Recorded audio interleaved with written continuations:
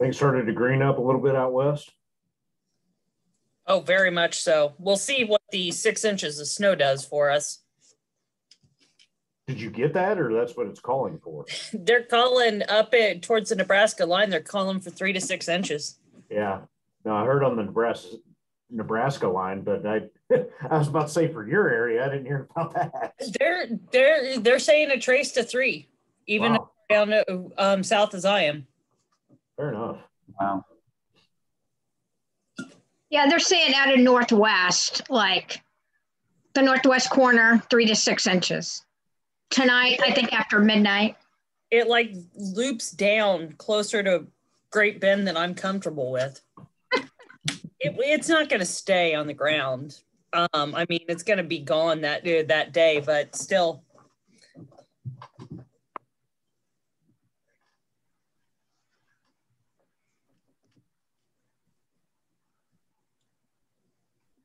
Yeah, it's all supposed to come down as rain for us tomorrow. So, um, which would be okay. Most of the countryside is black right now after uh, burning this week. So that'll be a nice little.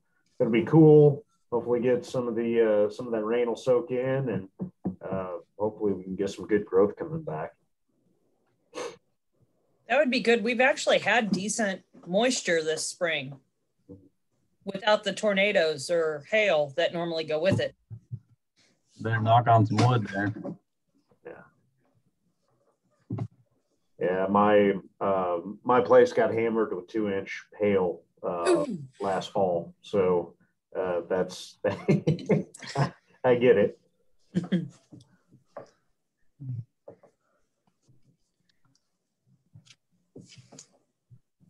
Well, everyone, um, thank you for attending. We are going to get started in about a minute or two. Um, we found that most people get on right at 10 o'clock, so we'll give everybody a couple more minutes to um, be able to attend, and then we will get started.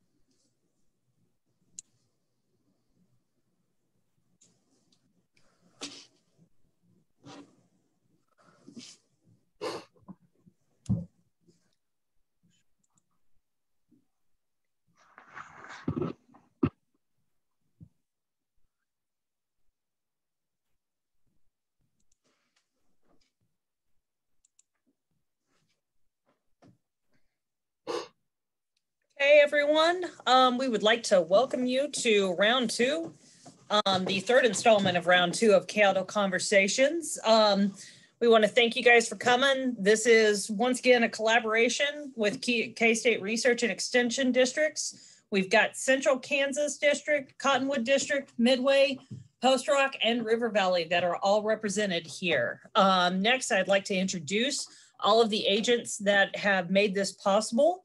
Um, first of all, I am Alicia Bohr. I'm an agriculture agent for the Cottonwood District. Um, then we've got Justine Henderson. She's the livestock agent for the Central Kansas District. Clint Laughlin is the livestock agent for the Midway District. Brett Melton is a livestock agent for River Valley. And then we have Sandra Wick, who is kind of an anomaly, I guess. Um, she's a crop production agent, but she is fantastic and has taken over um, for the time being the livestock um, uh, duties as well. So we thank her for being able to be multitasking at this time. So um, when you are asking a question, um, if you would just like to, at the very bottom, you will see the chat function. You can submit your questions into the chat and we will all be able to see them and answer them either during the um, program or at the very end. It just depends on um, the rhythm of the meeting at the time. So you can also, for some reason that doesn't work, you can email your questions to swick, that's S-W-I-C-K, at ksu.edu, or any of us agents if you have a question you can't get it through on the chat. Um, we will have one poll question coming through. Um, when we pop it up, um, you'll see it in the middle and just put uh, pick on your answer. We do not see who chose what answer, so just feel free to answer the questions as they come on. Um, and with that, I will be happy to introduce our speaker for today. This is AJ Tarpoff. He is our beef extension veterinarian um, that works closely with the state's extension teams to develop programs to improve the health of cow calf, stocker, and feedlot cattle for beef producers throughout the state. Um, today is about pasture lameness and that it is not always what you are um, may think at the beginning. So um, with that, AJ, I'm going to stop sharing my screen. You should be able to share your screen at this moment. There we go.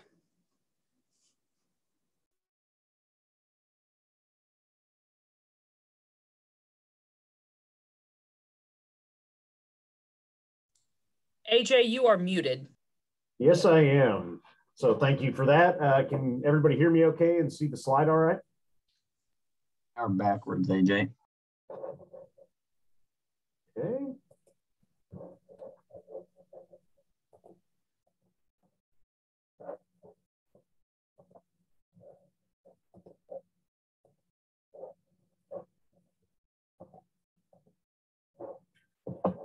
Oh, the joys of running a uh, dual screen. That should be uh, coming through better.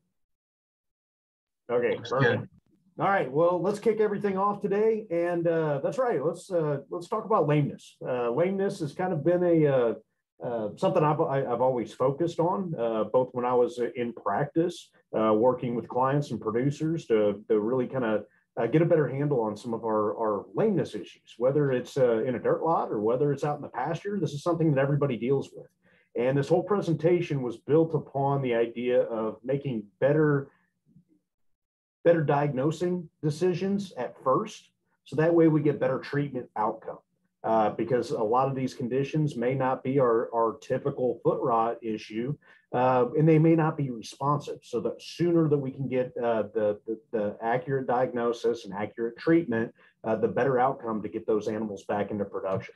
So that's our goals today. So uh, my, my personal opinion, and I and I, a lot of veterinarians and a lot of a lot of folks uh, share this sentiment, is uh, lameness may be one of the biggest opportunities for improvement in the beef cattle industry uh, as a whole. Okay, this is something we all manage, uh, but we do see significant losses. We have an economic impact, and it, it has also been a major uh, key point of focus for a lot of our other um, meat animal industries. Okay, both on the dairy, the swine, the poultry lameness has been a very key aspect when it comes to animal welfare and and and the well-being of our animals.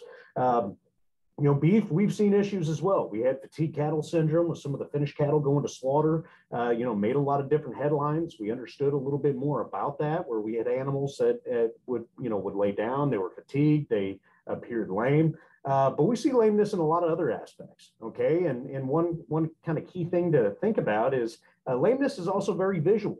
Okay. It, some of these lameness conditions, they can pop up suddenly, or they can be completely normal one day and be uh, three legged lame the next. And, you know, from the untrained observer, you know, driving by, seeing an animal that is, uh, you know, very lame, uh, even though the treatment and the response can be very quick, um, and we can see really good things, it, it's it's a very visual thing that says, well, what's going on on that operation if they have lame animals out in this pasture, you know? So it's always something to keep in the back of your mind. Okay, uh, so lameness estimates. Uh, this is some older data. This is more, uh, you know, uh, more oriented for uh, the for the feedlot and some of the economics, some of our best economic uh, information that we do have from the feedlot. but it's it's been estimated up to upwards to 16% of all animals that get treated are treated for some type of lameness.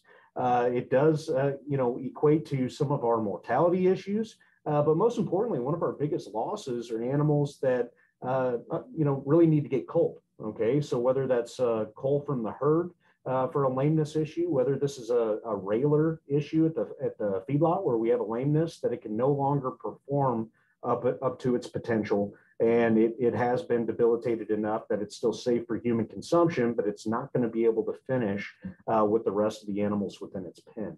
Uh, so that's a really kind of a recoup of some of the purchase cost, and and we see these issues. Okay, we see it in cow calf operations with uh, having to cull animals that have been lame. Uh, these are real tangible losses that impact our industry economically.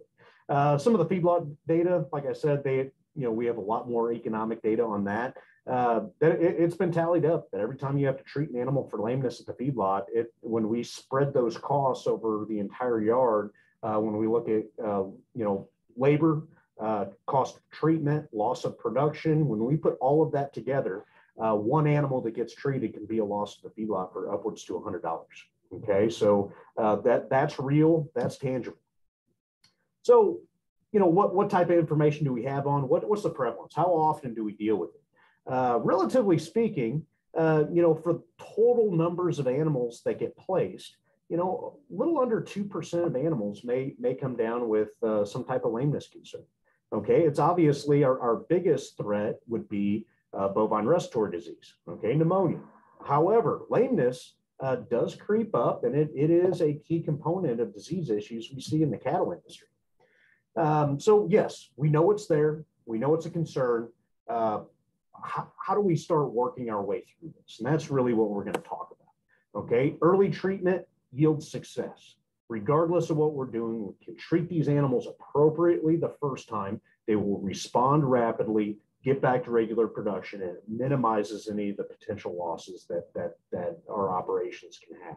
Okay, remember, cattle are a prey species. They want to hide illness, they want to hide lameness, they like to hide within the herd. Okay, uh, they always don't like to uh, show all their symptoms. Okay. And so think about it. I mean, I, a lot of us are guilty of this when we go out uh, with cattle on pasture. They're all, uh, you know, it's the middle of the day. They're all uh, laying down underneath the, you know, some shade trees out in the middle of the pasture. We go out and we check cows, right? We check stockers. We're going to have a look at everything.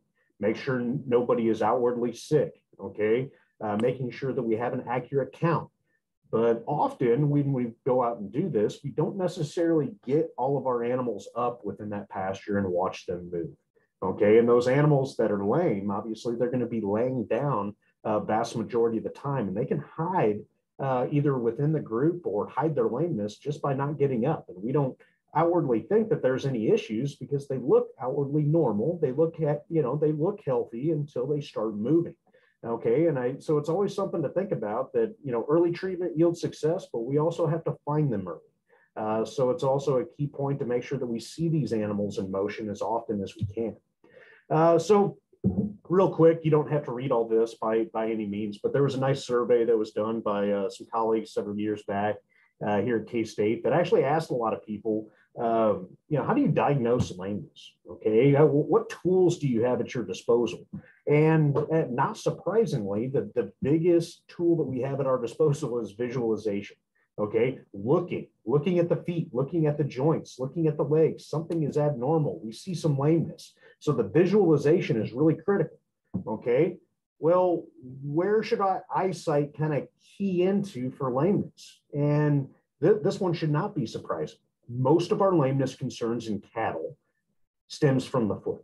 Okay, the foot is what comes in contact with the ground. That's what uh, that is what's being done. Um, you know, most of our lameness, up to 90% stems from the feet. Okay, of those lamenesses, 80% stem from the back feet.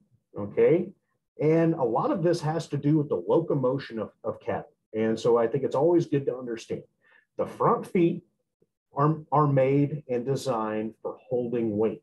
Okay. And that, that's what the bovine does. The rear feet are meant for locomotion. Okay. So the front are for directional changes, turning and holding weight. The back feet are for locomotion and driving power. Okay. Uh, so when we think about the, the, you know, the big round, the big back legs, the big muscle structures of those rear legs, that's what gives these animals the force to be able to move. Okay. Every time they turn, it does put pressure and causes friction on those back feet because that's the key driving force. We have the most forces on those back legs. And because of that, and the way that they turn, the outside toe on the back feet often yields the most lameness issues. Okay. And that has to do with the locomotion and the grinding and the driving force of those back feet.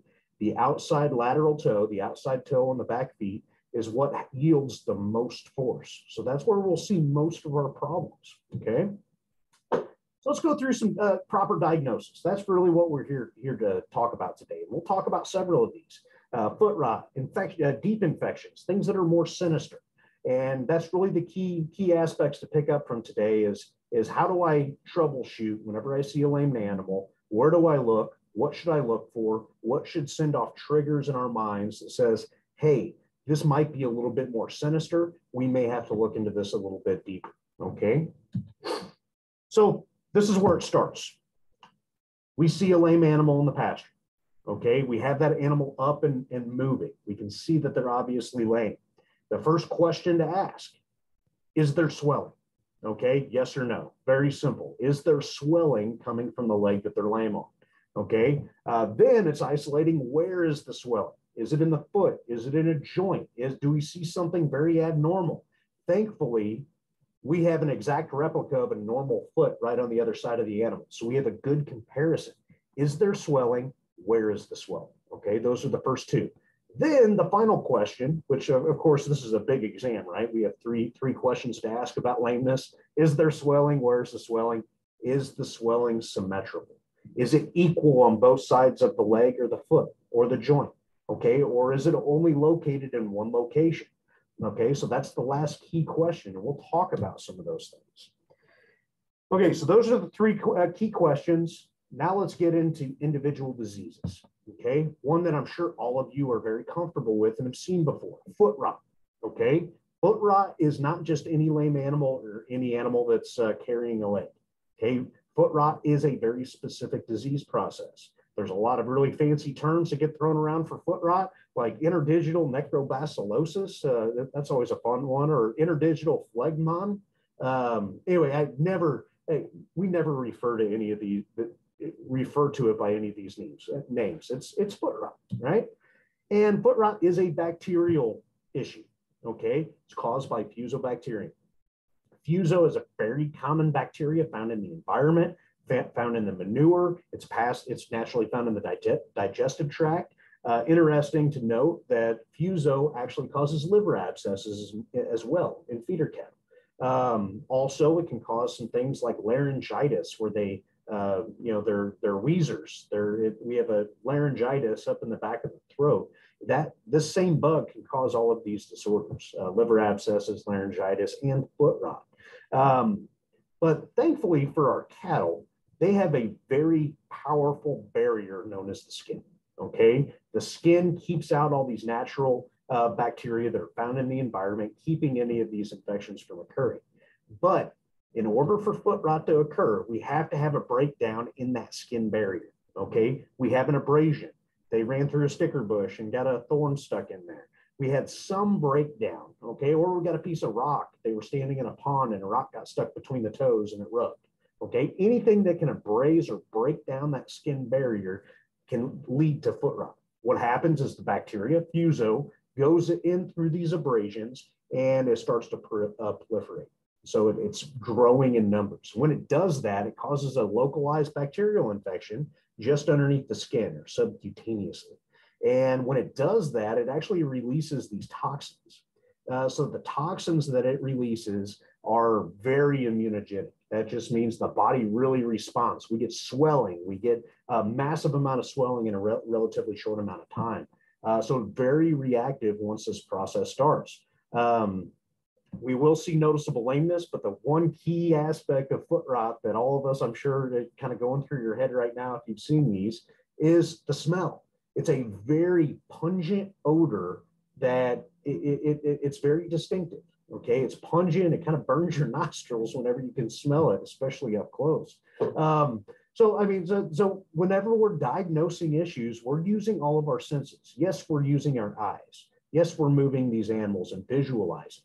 Uh, but don't don't forget about our other senses. Okay, if you come downwind of our herds and get everybody up to start moving, and you catch the smell of a, that pungent odor of, of, of prototypical foot rot, uh, that's where we go to work. That's where we start sorting off animals and making sure, okay, the smell is coming from somewhere. Where are they? Okay. Uh, so we can never forget about that pungent odor. Uh, interesting for foot rot, which makes it easier to diagnose, is we have symmetric swelling. Okay. So the swelling itself, we have an abrasion usually on the inside, in between the toes. that's where we have gain, gain of entry.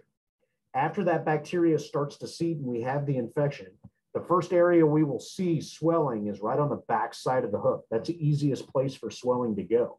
As it progresses, the toes will separate, okay, where we have equal swelling above the hoof walls, but equal on that lower area of the foot. Okay, we have a broken skin, usually in between the toes. We have that foul pungent odor. Um, and that, that's really what we see. And what I mean by symmetric, okay, if we draw a line straight in between the two toes, we have symmetric swelling on both sides, okay, between the, ho- uh, the hooves up to the fetlock. That's where we will see the vast majority of our, our of our swelling, okay? So that's foot rot. That's the disease process. We have a bacterial infection under the skin, releasing toxins, leading to uh, massive amounts of inflammation, pain, swelling, all of the above. Okay. What, what we see is lame animals, we, we smell the pungent odor. Uh, antibiotic treatment is warranted for, for foot rot. Okay. Um, so, yes, we have many labeled options that are available, and I'll talk a little bit about that here in a second. Uh, but we usually treat our foot rot cases with injectable antibiotics, systemic antibiotics. Uh, we're able to get uh, large volumes uh, through the bloodstream into that inflammation area to be able to resolve these issues rather quickly. Okay, which is very nice. That's one good good good thing that we have is for our regular foot rot issues that when we get uh, early treatment, uh, they do respond pretty rapidly. Okay, it is a painful condition. Okay, and a lot of people may ask about pain control and what do we have uh, at our disposal? Well, Re, uh, recently, within the last couple years, we there's actually a new product on the market that has a label specifically for the pain of foot rot. Um, and that is a, a, a topical transdermal uh, Banamine product. It's the only one that's actually has a label for pain of foot rot or pain for anything for, uh, for uh, cattle. Okay, so it's pretty novel in, in that ability. So we do have an option that's labeled for pain of foot rot. Okay, so that's why I like to, it's, we pour that down the top line uh, and can have pretty good effect for, uh, for a little over a day up to 48 hours. Um, now, some folks may have asked, and I, I get this question occasionally, well, uh, boy, that's it's swelling. Why don't we use a steroid to help decrease some of the swelling? Okay. Uh, common steroids we may use in, in, in beef cattle or cattle in general may be dexamethasone. Uh, the concern with using dexamethasone is it can be immunosuppressive, okay, where it basically dumbs down the immune system. Okay, well, when we're dealing with a bacterial issue, sometimes we have to balance that. Uh, you know, the back the antibiotic only works as well as the immune system is working at the same time. Okay, when we're battling some of these disease conditions, sometimes it's counterintuitive to give a steroid uh, when we need the immune system to be kicking in and working with our antibiotic to help heal the condition.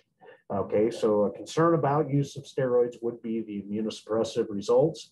Uh, that that would be inadvertent, but it, it very much does happen. Okay, uh, timing. When we treat an animal for foot rot, we should see almost complete resolution within a week. Okay, that's when we treat them early. If we treat them early, we should see these recover and, and see uh, drastic decreases in lameness within just a, a couple of days, two or three days, and they're, they're off to the races. Um, if we don't have very well resolution within about a week, something more sinister could be going on. Okay. Uh, now, I, I say that with a grain of salt because if we are late in our treatment, if we have a clubfoot, okay, a clubfoot is a big, nasty, you know, big swelling, big going on for multiple days, uh, even up to a week True clubfoots means the infection has gotten deeper into the, the lower tissues. And in the foot, there's not a whole lot of tissue uh, to, to protect our, to, you know, to protect our, ourselves from. We have the skin, we have connective tissue, we have bone, we have joints, okay, and we have tendons. That's that's really all that's there. We get infection into those lower t- uh, lower tissues like bone, joints, or tendon sheaths. Uh, it, it, it's much more difficult to treat, and those are very, very much more sinister. Okay, so it, it's always good to keep in mind. Uh, so this is a picture of a bull uh, with a very severe foot rot. Okay, this is this would be more accustomed to our club foot. Okay, uh, where basically it looks like a big bam bam club, and because the swelling is so bad, uh, we obviously have the breakdown in between the toes. Uh, but this would be, you know, this would be a, a longer term foot rot. It's, this did not pop up overnight. This is uh, this animal, this bull had been dealing with it for a little bit more time. Uh, would this resolve within a week after a regular antibiotic treatment? Absolutely not. Okay, this would be more of our long-term treatments uh, to try to get this back, this animal back up to uh, productivity. So what are our, what are our antibiotic choices? Obviously, the first thing to do is, is contact and work with your local practicing veterinarian. Okay, uh, each of them may have uh, slightly different recommendations, and that's okay because we have a lot of options at our disposal that are all very effective when it comes to treating foot rot. Uh, we have our oxytetracyclines. Okay, this these would be our LAs, our biomycins, our uh, Oxytet. You know, it's uh, the, these are uh, the injectable formulations. all have a label for four foot rot. Okay, and all give good duration and will respond pretty quick. Uh, there are some older bolus products that are uh, not used quite as commonly just because they're more difficult to give. Um, then we have some Ceftiofur products. We have uh, we have florfenicol, which would be Nuflor. We have tulathromycin, which is Draxxin. Uh, so obviously there's a big cost differential on, on some of these treatments, but uh, may be chosen for some specific reasons or another. And many of these are only by prescription only from your veterinarians. That's why it's, it's critical to be able to have that discussion to understand what your options are when, when you go to treat. So what about prevention? Well, if this is a bacterial infection, why don't we just vaccinate for it? Well, that's a great question uh, and a great comment that usually always comes up. Well, why don't we just vaccinate for it? Well, uh, we do have a commercial vaccine that is available. It's called Fusogard. It's labeled for foot rot and also for uh, help helping control of liver abscesses.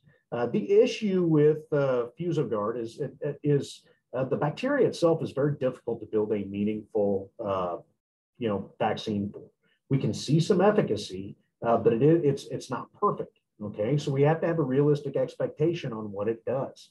Uh, there's been a lot of peer-reviewed uh, papers and research that's been done on this. Uh, out of all of them, there's really only one Canadian feedlot study that saw an effect, but not, not on grain-based diets, only on forage-based diet, diets when it came to the foot rot prevalence. Okay, so obviously we don't have a ton of information. There's conflicting results in the literature, whether it's uh, highly efficacious or not.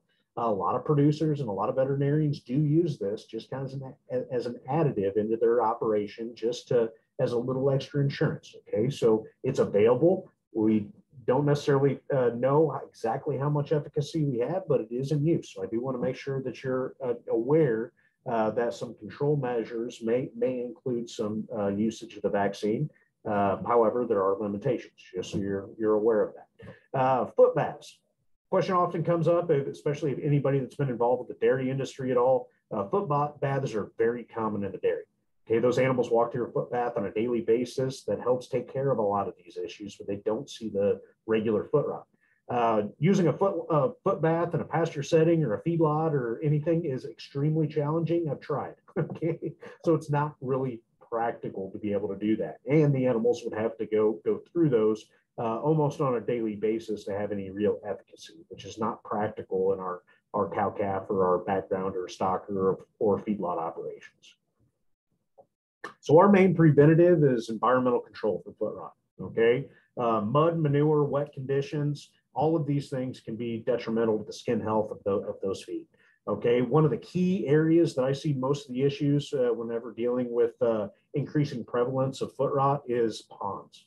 Okay, ponds are a tremendous water source for our livestock out in pasture settings. However, when it gets hot, they have flies around them. They go stand in the pond, stand in the mud. We get softening of the skin. Whenever they get out, either they're uh, tracking up uh, gravel uh, in between those toes where we already have a softened uh, hide, softened skin in between the toes. They've been macerated by standing in water for long periods of time. And then we grind in a, a small piece of gravel or some uh, dirt. And long and behold, now we have foot rot. Okay, it happens very commonly. There obviously there's some things that we can do to increase the uh, uh, the stability of our watering areas around our ponds that uh, you know, we can have some improved watering locations, which uh, KSRE has some tremendous resources available for that. Uh, but again, standing in ponds, standing around water troughs where it gets really muddy, uh, really deep, where they're stomping through some mud in some of those locations, even in pastures, uh, can be some key areas that we can kind of upgrade to help minimize the impacts on, on the feet of these animals. Okay, so that's basic foot rot. Okay, so good overview. What about this guy? Is this symmetric? Is this swelling symmetric? Uh, thinking back to the picture that I had previously, we have a normal toe right here, and then we have this big bump over here. This is not symmetric. This is not regular foot rot. We see a swelling, they're very lame, but uh, this is not this is not the same. It's a different disease process. Let's get into that. What does it look like? Here's a bull that's in a chute. Uh, we can see these swellings from the front or the back. Okay, but once we notice the lameness, here we can see the spreading of the dew claws, spreading of the, uh, the back of the heel bulbs. Okay, we can see the big swelling that's unilateral, only on one side. Okay, so we have a one side of this foot that is more affected than the other. Okay, this should uh, raise some red flags. Something a little bit more sinister is at work here. Okay, this this is something that we would need to address differently than how we address foot rot. Okay, so to, to help with this, again, just another visual. Foot rot, we have equal swelling on both sides. When we have deeper tissue infections, either from a joint, uh, a bone, uh, or some of the under, underlying tendon sheath or tendon itself, we will see unilateral, one-sided swelling. Okay. Now, where do these deep infections come from? Uh, could have been from a puncture wound, could have been from a chronic foot rot condition where we got infection into the deeper tissues. It could have stemmed from the foot itself. And oftentimes it does, that we started with a sole bruise that turned into a sole abscess, and then that infection spread to up uh, either deeper tissues or up the leg. Okay, so deep sole abscesses and sole bruises and ulcers uh, can also lead to some of these deep infections. Uh, they typically will not heal until we get drainage from some of those key areas. Okay, um, they usually that that means that we may have to pare out abscesses. We would have to do some footwork uh, to make sure that we can get relief to those areas to allow the, the hoof to heal itself. Okay. Uh, obviously, if it gets into the joints or tendons, uh, your veterinarian may have some other tools to be able to debride or basically clean those. Uh, but these are these definitely warrant a call to a, a veterinarian. Uh, these deep infections don't heal on their own. Okay, uh, even with proper therapy, can take some time to get them back to soundness. Okay, but we can do it whenever we get treatment uh, indicated as early as possible. Okay, that and that may be some sedation, going on a tilt chute if it, it's available. Uh, lay the animal down and we start working and may use grinders and may use uh, paring knives like we do on horses' hooves uh, to be able to pare out some of those uh, abscesses and infection to allow it to heal from the inside out. Uh, we can also put on some uh, some blocks to make these animals more comfortable and to be able to walk, or it's a salvage situation. Okay, and I'll kind of walk through those. Uh, here's an example of paring out some uh, nasty abscess that's underneath the uh, underneath the hoof wall, uh, underneath the sole. This is a sole abscess that can occur from start from a bruise that gets bacteria in there, and long, long and behold, we end up with an abscess. Uh, will not heal on its own. Okay, without paring that out. Uh, here's an example that once we do some of these this hoof work, we can actually use different types of specialized epoxy uh, that we can actually glue these blocks onto the other hoof. Uh, this takes all the pain and all the strain away, and they, they actually walk out of the chute and they, they're very comfortable. Hopefully, we can get those blocks to stay on uh, for a couple weeks, even upwards to a month. And when we do that, it, it, takes away the pain and gives us an opportunity to heal uh, the affected toe. Okay, and they can be very, very successful whenever whenever we can utilize these. Uh, but again, not all of these can heal. Okay, here's an example. This is an x-ray, uh, believe it or not, of a bovine hoof. And what we see here, we have an infection in the bone. Okay, so the bone has basically eaten away at itself from the infection. Uh, this is a very serious situation that uh, no, no amount of uh, systemic antibiotic is going to be able to heal this. Okay, we already have a compromised, uh, you know, structure of that foot. Uh, so there are some other options we can get animals by. This is an amputation. Okay, this is a surgical amputation to actually remove that hoof as a salvage procedure. That can be done in certain animals, um, you know, especially our mature animals, whether it's a cow and we need to get her through calving. Uh, or it's a bull, and we need to be able to get him collected or uh, be able to, you know, do some different things. Uh, you know, this is a salvage procedure. It's not for long term. If we have to do an amputation on a toe, um, you know, it can get us by for several months, uh, even upwards to a year. But past that, especially larger animals, larger cows and bulls, we can actually have some uh, deeper tissue breakdown on this other toe. Uh, so it is a salvage procedure, but can definitely relieve the infection, get the animal back to production, uh, at least in the short term. Okay, either to get through a pregnancy, get through a lactation, uh, something along those lines. Okay, so that, that is one type of deep uh, deep infection that we see, but we see another type of, uh, of deep infection, and it's it's uh, it's been termed toe tip necrosis, uh, where we actually have breakdown in between the sole on the bottom of the foot and the hoof wall that comes down, the white line, so to speak, and we can get abrasion and actually breakdown where we allow bacteria to get inside that toe, and it forms an abscess right at the tip of the toe and as it progresses, will cause an infection in the bone inside that hoof wall.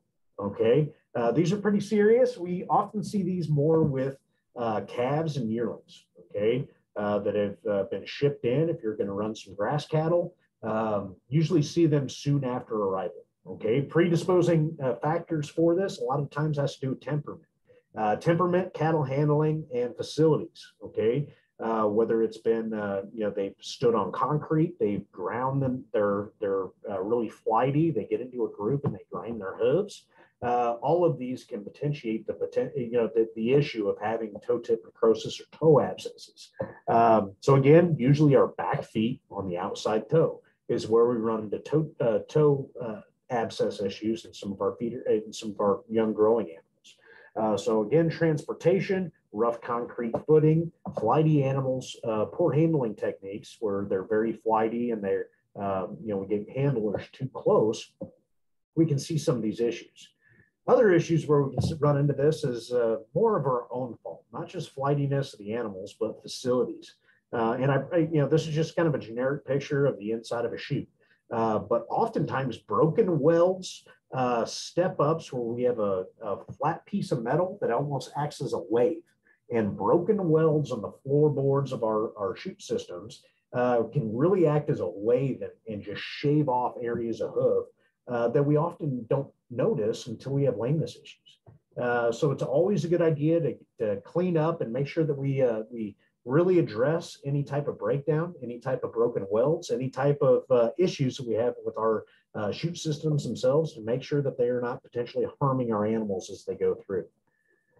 So toe abscesses, these are a little bit more difficult to diagnose, okay? Usually freshly arrived animals that have been recently handled is where we see these most commonly. They've been through an auction facility, they've been on a truck, uh, they've been recently handled, and this is what we see.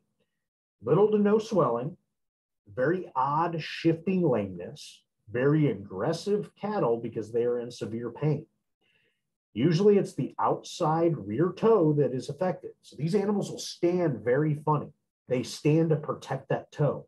They will stand with their back legs very spread apart to only put weight on their inside toe, or their back legs will actually be crossed. That is very abnormal. Animals should not stand with their back legs crossed.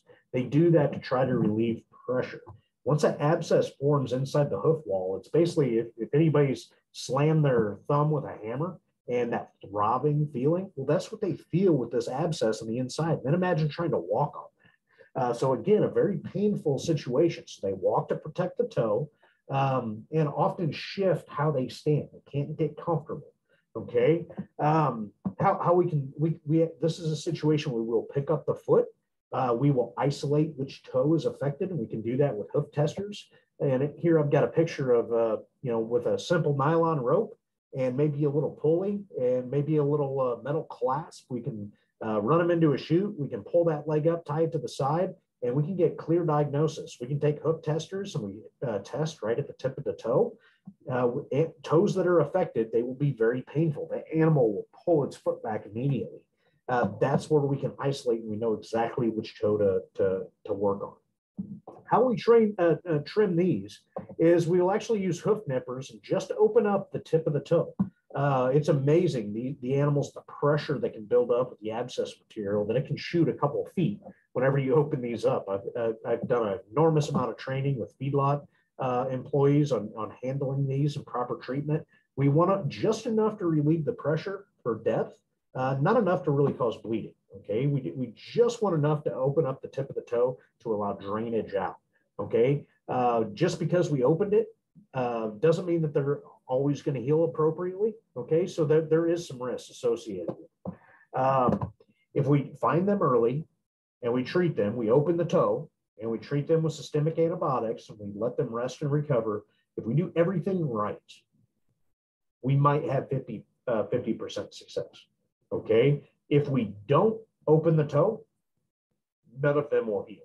Uh, the infection and the picture on the right is the picture of a, a, a hoof uh, that, that was split down the center with a bandsaw. This is part of a uh, research project. Um, but we will get, this is the lower bone. It's all infected. It's called osteomyelitis. Once that happens, the infection gets systemic and it's uh, not a good deal. Animals will, will deteriorate. Uh, this is an animal I euthanized right after I took that picture, but it had toe abscesses and the infections were coming up the leg. Um, so yes, it, it, can be very debilitating, but uh, with pr uh, prudent treatment, we can get quite a few of these animals over it. So the biggest thing, since treatment isn't super successful, uh, we really need to focus on prevention, and that's uh, facilities, uh, that's non-abrasive alleyways, making sure that we aren't causing the issue. Okay, so last couple slides.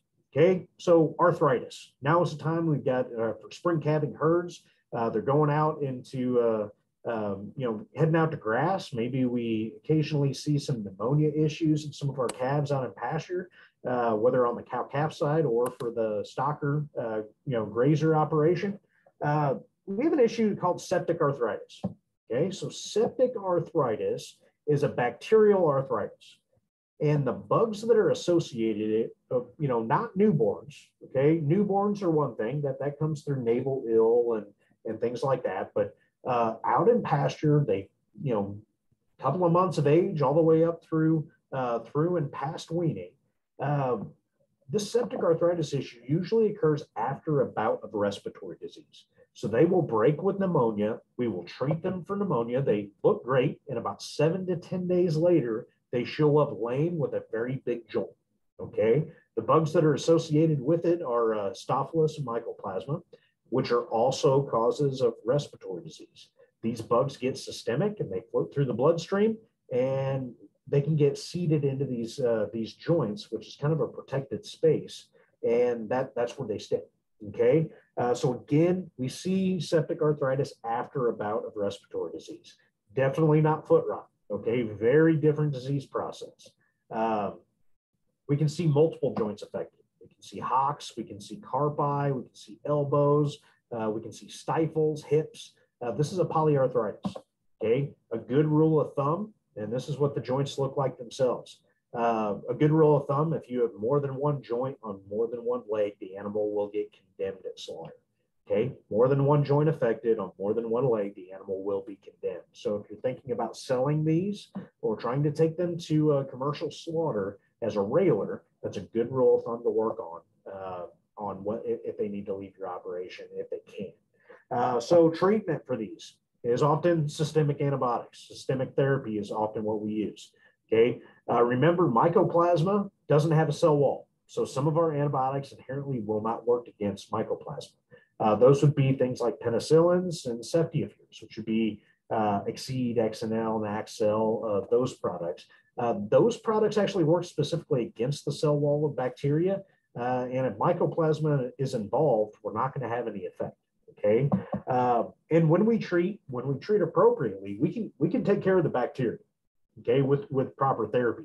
The issue becomes the animal still has to resolve all this inflammation material, all this uh, yellow stuff that was in, in the joint. This is all inflammatory cells that have been brought into the joint to try to heal. Well, that doesn't go away overnight. Since the joint's a protected space, it takes a long time to resorb that back into the body.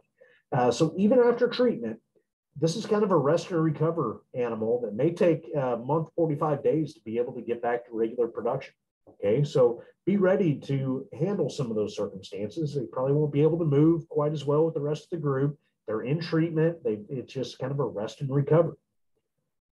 So here's the, uh, I'm going to set up a scenario and we're going to have a quick question for everybody that's on. So this is an example of an animal. Uh, you go out and look at a group and this animal is painful.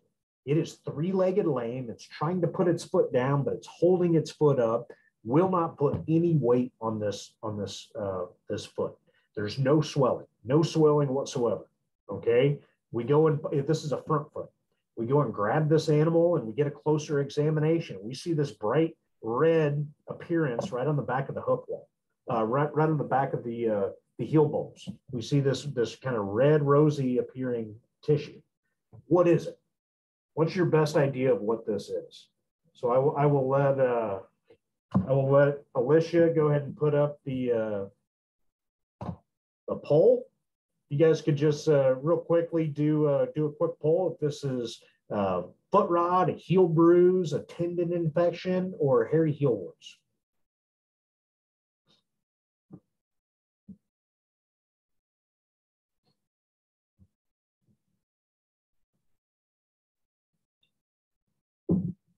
Again, thank you for uh, contributing to that. I'll let. Uh, Everybody has uh, voted now. okay, what were the results? Heel bruise. Okay, fair enough. Well, this is actually not a heel bruise. This is a, an infection, uh, infectious condition, and it also goes often goes misdiagnosed. We don't recognize it, especially on the beef side. It's called hairy heel warts or strawberry foot rot, or also goes by digital dermatitis. Okay. No swelling, extremely painful. It is known to be contagious. We don't know exactly how this disease starts or how it progresses. We are learning more and more about it. There are researchers that are doing research on it all over the world. Um, it has traditionally been a dairy issue, but we are seeing it at the feedlot. We're seeing it on the cow calf. Uh, it does pop up. Okay, so that's why I like to bring it up. It's actually, uh, we, we believe that it's caused by a bacteria known as a spirochete. Um, so we just think that because we find it whenever we look at these lesions, uh, whenever they get sent into the diagnostic lab. Um, the pre-patent period is very strange. These animals can be exposed to whatever initiates this disease process, and it may take months before they actually break with any type of clinical signs. And what we'll see is usually associated with the back of the heel. Okay, we will have lesions that uh, progress. They will be bright red, rosy, like that previous picture. Uh, they will. They can be black. Uh, they can look have like wart-like, finger-like projections that are very painful. Uh, it's just an overgrowth of that external area of the skin. So, digital dermatitis, it, it is emerging. Okay, bright red lesion on the back, or almost looking like a a wart or uh, a scab on the back of the, the, the heel bones, Okay. Because of this, and it's so painful that even poking it is very painful. So what they do is they're reluctant to walk on it. So they walk on the very tip of their toe. If you see animals walking on the tip of their toe, should uh, raise a red flag that potentially we're dealing with a hairy heel wart. Okay. So, uh, so very painful, can be multiple, uh, multiple feet uh, but usually it's only one at a time, but can be. Uh, so what we see is walking on the tip of the toe. And this is what we'll see. They'll, uh, whenever they're moving, they're very lame, but they only put pressure on the tip of their toe just from this little lesion on the back side of their hoof. It's amazing how uh, just such a small lesion can be so painful, but it, it really is. And this is one of, the, key differences with hairy heel wart. Systemic uh, antibiotic therapy really doesn't work. Okay. Um, you know, most of these other conditions, systemic uh, therapy is probably still going to be a part of the uh, treatment solution. With digital dermatitis or hairy heel, it's not. Uh, we just don't see response. It's not a systemic issue. It's a outside of the top layer of skin issue. So the systemic antibiotics really don't get into the tissue, the epidermis of the skin, to be able to treat and cure this issue. So what, what we have to rely on is topical therapy. Uh, so topical therapy, whether that's an antibiotic solution, uh, we can use formalin, Kopertox, Uh, there's a lot of different products that we might uh, might utilize. Um, you know, things like formalin or Kopertox. Uh, you know, there's been situations for to increase the effectiveness of treatment and to be able to clean that foot. They actually put some of these solutions in a uh, garden pump sprayer, and to be able to spray that hoof hoof off. Uh, it will dry. It will it will help heal from the outside. And that's exactly what we want. Uh, if we do use any type of antibiotic powder, sometimes some folks will uh, try to put a bandage on it, just a quick little wrap. If we do that, we need to make sure it comes off in a couple days. Um, so it's uh, it's in the environment. It is contagious. Takes a long time to see lesions, uh, but it's good to understand that if we do see some of these lesions, topical therapy is really warranted. Okay, um, let's finish up here. I don't want to keep you all too long. Be happy to answer questions here in a little bit, but uh, let, us finish up with just a few other oddball things. Uh, lacerations or entrapments, so to speak. Uh, lacerations happen, uh, whether they get wrapped up in some wire, whether they get cut, uh, regardless of, of where it happened. Sometimes we need to try to isolate where it happened, especially if it came from our working facility or our, uh, or our trailer. Um, how many of you have taken a look at the floor of your stock trailer lately.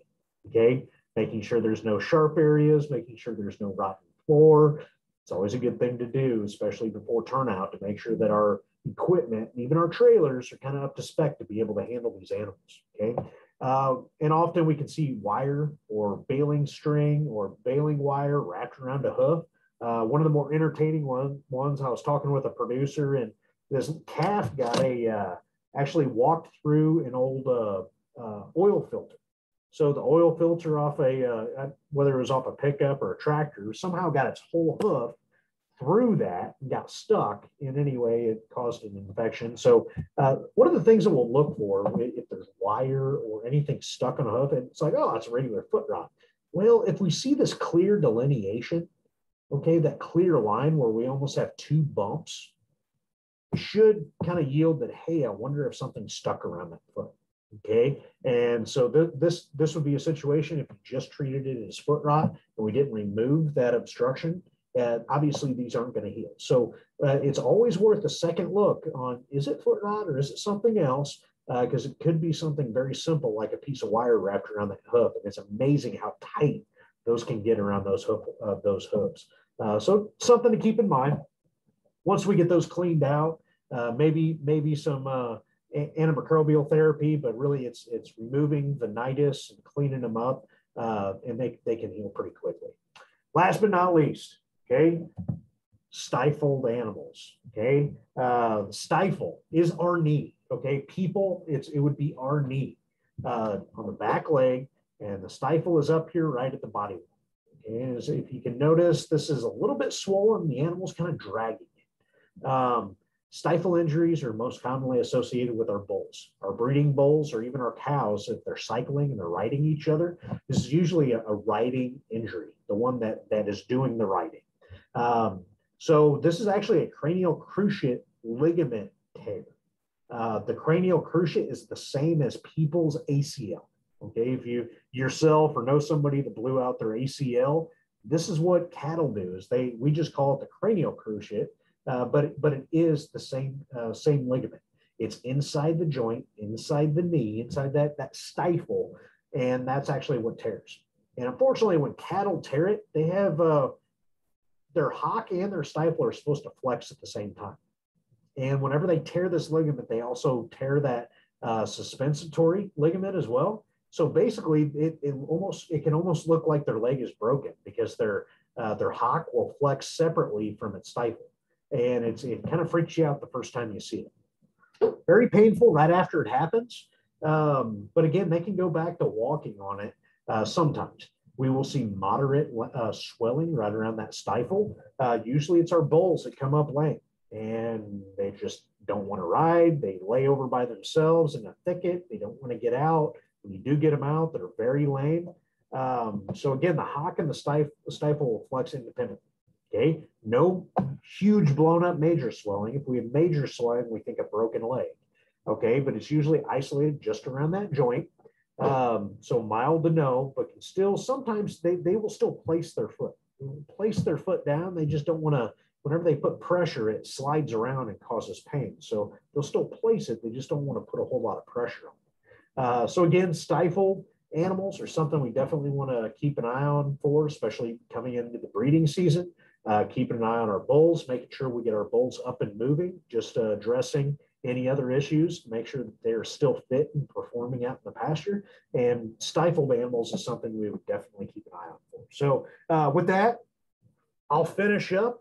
Uh, I'm glad everybody uh, was able to get logged in today. Hopefully you were able to pick up a few uh, nice pieces of information or at least as a good reminder uh, to really readdress and take a closer look at some of our lameness issues out in the pasture this summer because uh, more than likely it affects us all. Uh, you know, we, we traditionally will see a, a, few lameness issues during the summer months. We have the moisture, they're covering a lot of ground. Uh, so it's a good idea to keep these in the, in the back of your mind. And when you see something, taking a closer look, if it's a little bit more sinister than just regular foot rot, making that call to your veterinarian sooner as opposed to later to make sure we can get some adequate therapy uh, to really get down to the, the true cause to hopefully get them all back to production. So with that, I'll I'll send it send it back over. Okay, thanks, AJ. Um, that was a really good presentation. Uh, does anybody on uh, on right now? Do they have any questions?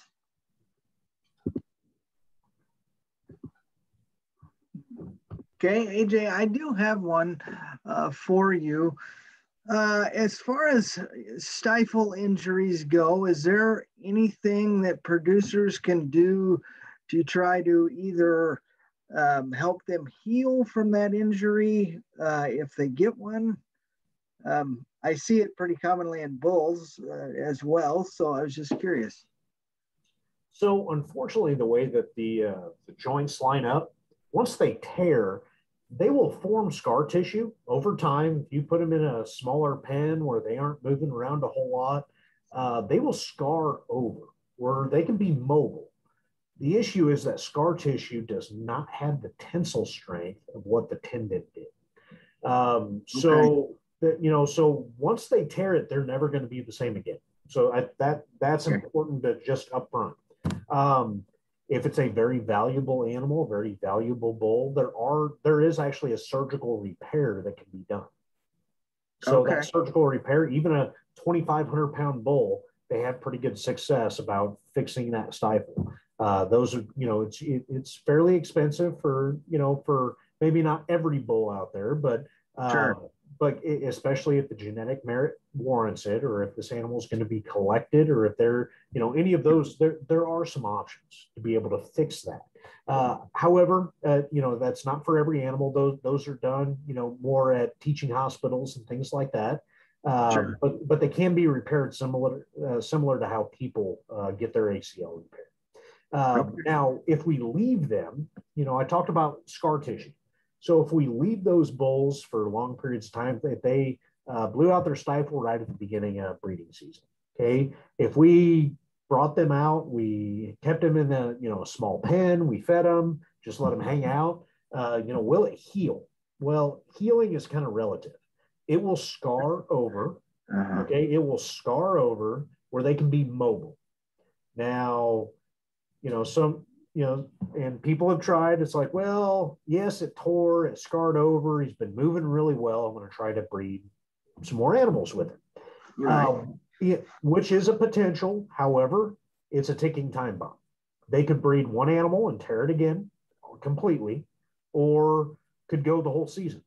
Okay, so it's very unpredictable um, on whether they can heal. Typically, once they've uh, blown an ACL, they're they're done uh, they've lost their uh, their fitness. Okay, their their athletic fitness after they they've torn that, they're basically done.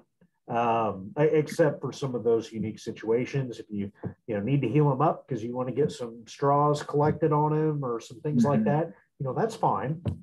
Uh, but but it is pretty devastating for some of those animals, and it all has to do with the weight, the pure volume that they're holding, and the way that those joints come together, they don't line up like this. They're already flexed. And because they flex and there's always strain on that joint, it slides. it will constantly Oh, slide okay. and be uh, unable to be able to uh, uh, perform. So I kind of hits home for me because I don't have an ACL in my right knee. I got hit by a bull, and uh, of course, here we're talking about bulls blowing their ACL. Well, a bull Right. blew out mine, um, and I, yeah, it, actually, it, it's still not in there, and it flexes around every so often, but I, I can get by because I walk on two feet instead of all four. Right. Okay. Okay. Yeah. Thanks, Doc. you bet. Um, Anything else from anybody question wise? Okay, it looks like uh, Brett did put the link to the uh, to the survey in the chat. Um, if you guys want to take the time to uh, fill out just kind of your thoughts on on uh, this week's program, we'd sure appreciate that. And uh, thank everybody for uh, spending a little time with us this morning. I am going to uh, kick it back over uh, to Lish, I think, to to wrap us up this morning. And let me see if I can't pull up um, the PowerPoint again. Um, we do have a program next week that's really interesting. Um, it has to do with um, blue algae and ponds and some of the research that they're um, working on right now. Um, so that will be a really interesting program that's coming up. Here, let me share my screen. Uh,